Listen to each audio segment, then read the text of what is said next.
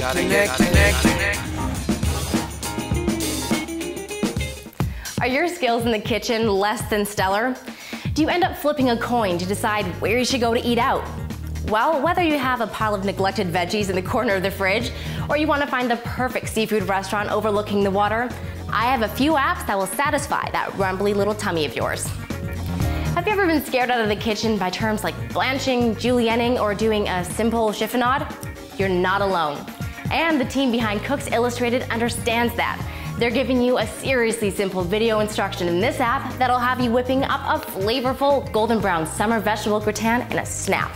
You can read all about how they came up with each recipe on the article page, check out what you'll need from the grocery store in the ingredients tab, and look up the step-by-step how-to in the instructions section. And if timing isn't your thing, like me, this app takes care of that too. Each step has a timer you can set at your convenience, so you'll never forget to take your masterpiece out of the oven. I lose track of time constantly, so take it from me. A black cloud of smoke is never a crowd pleaser. The best part about this app is the video you'll find for each recipe on the article page. Nothing's easier than actually seeing how it's done for yourself, and you'll never have to second guess the cooking method again. The basic version of this app is free, but if you want the whole shebang, which gives you access to thousands of member-only recipes, you'll have to shell out around 35 bucks a year for the Cooks Illustrated website subscription. Now, if you're more likely to use your oven for extra shoe storage though, then a restaurant guide app is more up your alley. My personal favorite here is Urban Spoon.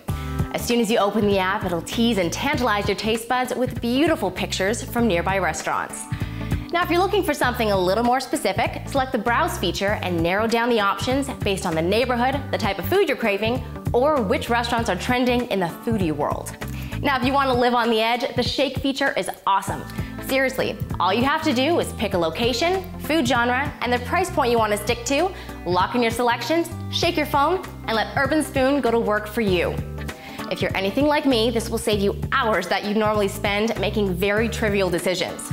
And best of all, keep that wallet closed. It's free.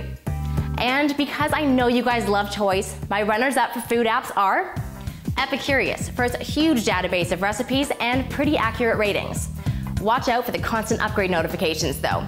They can be a bit annoying. Seafood Watch to ensure your purchases are sustainable, like choosing albacore over ahi tuna, and why you should.